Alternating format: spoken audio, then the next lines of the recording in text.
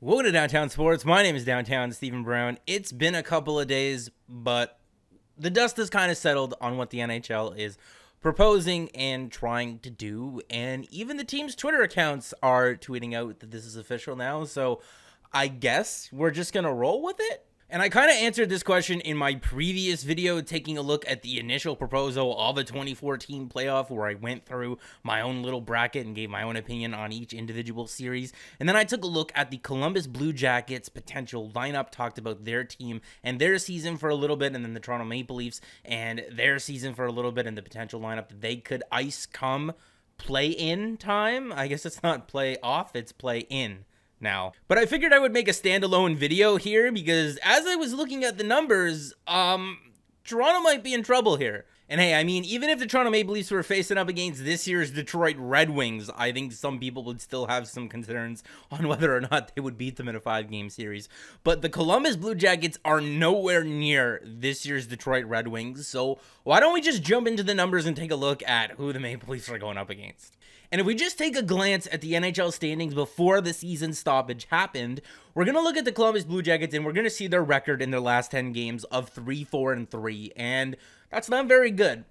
But you're going to take a look at their negative 7 goal differential and you're going to tell yourself, well, that's not very good either. The Toronto Maple Leafs are a positive 11, as you can see on the screen there, but you could also take a look at the fact that if the NHL just did a 16 team playoff and just sorted it by points percentage, that the New York Islanders would actually leapfrog them because the Columbus Blue Jackets are the number nine seed here. But I figured it would be important to show these two things in the video. That's why I'm adding them in after the fact. That's why you're going to see me wearing different clothes now, and then it's going to go back afterwards. But since Sheldon Keefe became the head coach of the Toronto Maple Leafs, these are the NHL standings. The Maple Leafs at eighth in the NHL in terms of points percentage, and the Columbus Blue Jackets at number 10. And this is a hardy sample size. I mean, most teams only ended up playing between like 68 and 71 games or so in the NHL this year. And you can see here, most teams are at about 48, 49, or 50 or so. So that's about like 75 or 80% of the season played. And these are two top 10 teams. So it's going to be a good series either way, and especially considering I'm gonna I'm I'm gonna, I'm gonna keep repeating myself, but especially because both teams are healthy.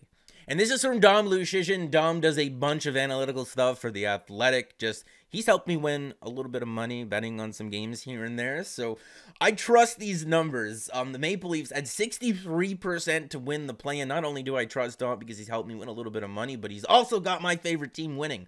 So these numbers are 100% valid and correct and the only ones that we should look at. But just looking at those numbers are not enough to determine anything here. If we go over to naturalstattrick.com and we take a look at the NHL standings from January 1st, so New Year's onwards, the Columbus Blue Jackets were the seventh best team in the entire National Hockey League by points percentage. If we were to sort this by save percentage, they are fourth with a 932 team save percentage from January 1st onwards. If we take a look at their CF percentage over a larger sample size here, not necessarily the greatest of teams. If we take a look at the scoring chances for and the scoring chances against, I mean, they are getting outchanced at 5 on 5. If you're looking at the expected goals for, the expected goals aren't on their side either. If we're taking a look at the Columbus Blue Jackets, what they do possess, though, is some of the best goaltending in the entire National Hockey League. Elvis Merzlikins and Jonas Korpisalo were carrying this Columbus Blue Jackets team that was reeling from losing Artemi Panarin in the offseason and guys like Matt Duchene and Ryan Dzingel, but also had guys like Seth Jones and Cam Atkinson and Josh Anderson injured for a very, very long time. So when we take a look at those advanced analytics, we have to understand that they were a team that were injured a lot all season long, and they're going to be healthy now. And when we're taking a look at the Toronto Maple Leafs over the same time span, they were 14, 11, and 4 for a points percentage that would put them 18th in the league from January 1st onwards. And when you're looking at the Columbus Blue Jackets, it's really easy to point out all the injuries that they had and then not give Toronto the benefit of the doubt and look at the injuries that they had. But when you're looking at them, they also had guys like Zach Werenski, who was injured for about four weeks or so with some type of shoulder injury.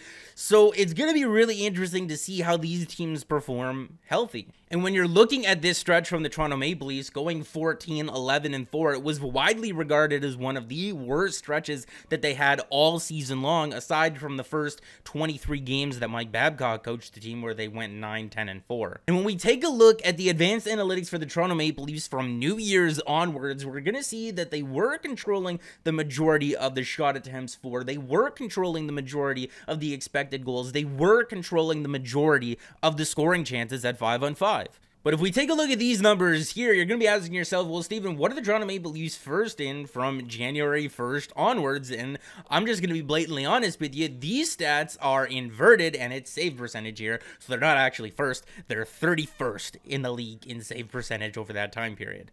And that's because Frederik Andersen had a save percentage at 5 on 5, so not even counting the penalty kill here, of 897. And if you're going from January 6th onward, which is a statistic that I've shown here a couple of times on the channel, it gets even worse. It goes down to 892. And when we're looking at something as delicate as a five game series, um, it's very easy to get PDO'd. And what I mean by PDO'd is just goalies having an absolute shutdown performance or an absolute shoddy performance or just one player just absolutely catching fire.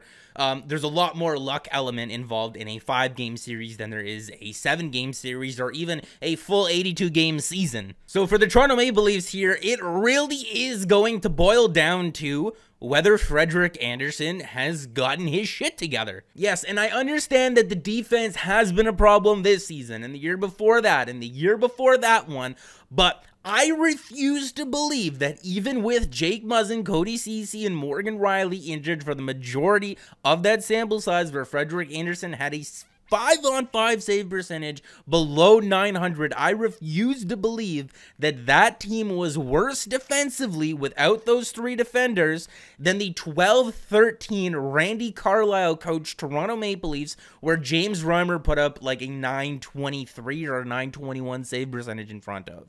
And I refuse to believe that the defense was so bad in front of Frederik Andersen that Michael Hutchinson somehow, somehow had a save percentage 17 points higher than him at 5 on 5 with very much just about the same defense in front of him and I refuse to believe that Jack Campbell was capable of posting a save percentage 31 points higher than Frederik Andersen with just about the same defense in front of it. I refuse to believe that it was 100% the defense. I'm pinning this 65 35. 65% on the goaltending, 65% of the problem was Frederik Andersen, 35% of the problem was the defense. And if this Frederik Andersen shows up in this five game series, the Toronto Maple Leafs are going to lose in three games. But if the Frederik Andersen of old shows up and he's able to be that goaltender that has been that consistent force for the last four or five seasons and post a save percentage of around 917 to 919,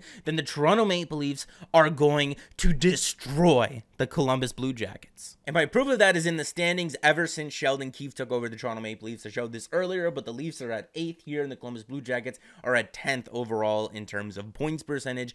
But the difference in these two teams just in terms of save percentage is astronomical and it's amazing that the Toronto Maple Leafs were able to be this high in the standings with the eighth worst goaltending over this time period. And if we just scroll over here, we're going to see the difference in the save percentage. I got to scroll over on OBS here, so just a second. And you're going to see the Toronto Maple Leafs here at about 913 and the Columbus Blue Jackets here at about 923, 924. And I mean, to put it into perspective, if you're thinking about the Vezina Trophy race, right, if a goaltender had a save percentage of 924, he's probably going to be one of those top three candidates. Now, if a goalie has a save percentage of around 913, what is he?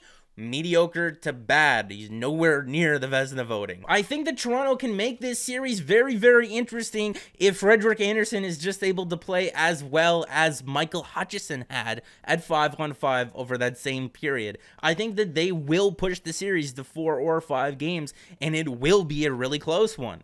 As we talked about in the metrics there, both teams were severely injured over that time frame, and yet the Toronto Maple Leafs were the better team at 5 on 5. They controlled the scoring chances, they controlled the expected goals for, they controlled the shot attempts. They were the better team. But when your goalies are posting a 932 save percentage, yeah, you can very easily overcome some weak underlying advanced metrics. And I know that we shouldn't be underestimating the team that took down Tampa Bay last year in four games, but those aren't the same Columbus Blue Jackets. They don't have Artemi Panarin and they don't have Matt Duchene. And they likely also won't have Josh Anderson. The Toronto Maple Leafs are going to have everybody at 100% health aside from Andreas Johnsson. The only thing that scares me when it comes to the Columbus Blue Jackets is their goaltending. And I'm not going to lie to you, there's a lot of reasons why you should be scared of their goaltending. They don't just got one of them, they got two of them that are absolutely insane. But if I could take an objective look at this series and take off my glasses, even though I'm not wearing them right now, and I'll look at this without blue tinted glasses or the Leaf stuff here, I'm still saying that the Toronto Maple Leafs are going to win this series. But let me know down in the comment section what your thoughts are on this series and make sure to leave me a like on the video if you did like it and subscribe for more because more is always on the way because guys, the Toronto Maple Leafs are not only going to beat the Columbus Blue Jackets, but they're also going to beat whoever they play in the first round of the playoffs, the second round of the playoffs as well, and they are going to the Eastern Conference Finals this year. I'm not saying that they're going any further than that, but I'm telling you, they're getting through.